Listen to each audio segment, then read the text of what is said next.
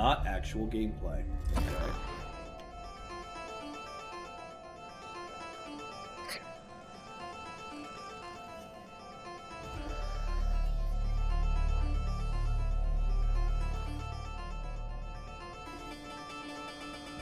Oh, it's a Bungie game.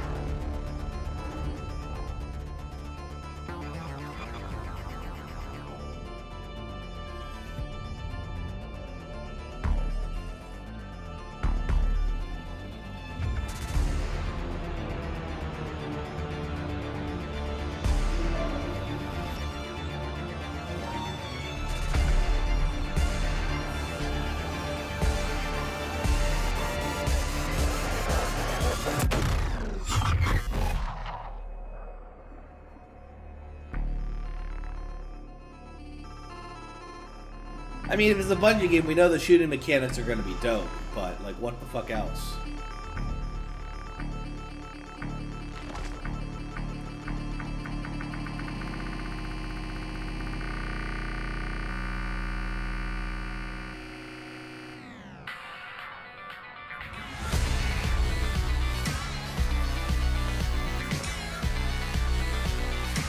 I mean, it's cool that Bungie's making some something new, and they're not just making the next Destiny expansion. They make fun shooting mechanics. They give, it, you know, it's like id Software, Peer, Bungie, and then like basically everybody else.